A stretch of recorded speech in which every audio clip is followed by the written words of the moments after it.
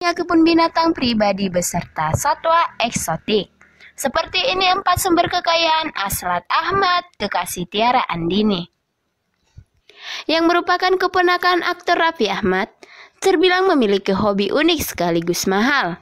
Pacar penyanyi Tiara Andini ini sangat menyukai beragam fauna, hingga dirinya memiliki kebun binatang pribadi dengan berbagai hewan koleksi.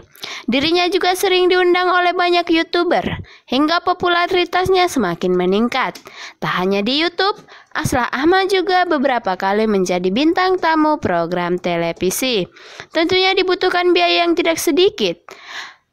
Jika melihat koleksi hewan peliharaannya seperti harimau benggala, harimau putih, rakun, sampai burung merak.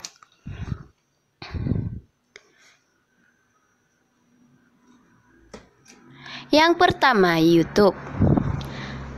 Terambat hati penyanyi Tiara Andini ini memiliki 5,50 juta subscriber dari 300 video di akun YouTube yang dibuatnya meraih jumlah penonton yang mencapai jutaan views.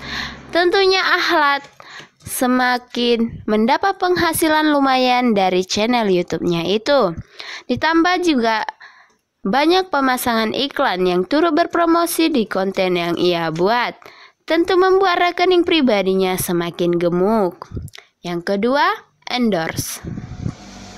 Popularitasnya sebagai YouTuber membuat Aslat menjadi sasaran para pengiklan yang ingin menggunakan jasa endorse dirinya.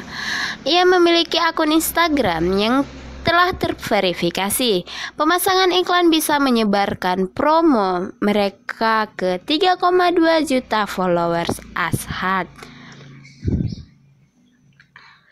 Dalam platform tersebut, Al Asad pernah mengunggah feed berisi endorse produk klien mulai dari skincare hingga brand pakaian. Yang ketiga, kuliner.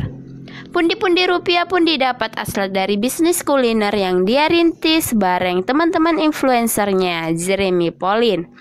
Mereka mempunyai sebuah kafe yang khusus menyediakan produk makanan Jepang, ramen, Bendungan Hilir, Jakarta. Aset keluarga Pria berkulit cerah merupakan anak Sultan Bandung. Asal tentunya tak lepas dari dukungan keluarga. Keberadaan aset keluarga berupa kebun binatang pribadi pastinya menggambarkan kondisi keuangan dari keluarganya. Dengan apa yang ia miliki, Ashad cukup cerdas dengan menjadikan hewan-hewan peliharanya sebagai salah satu bahan konten di media sosialnya, sehingga bisa mendatangkan uang baginya untuk mengurus hewan-hewan kesayangannya itu. Nah, seperti itulah sumber kekayaan dari kekasih Tiara.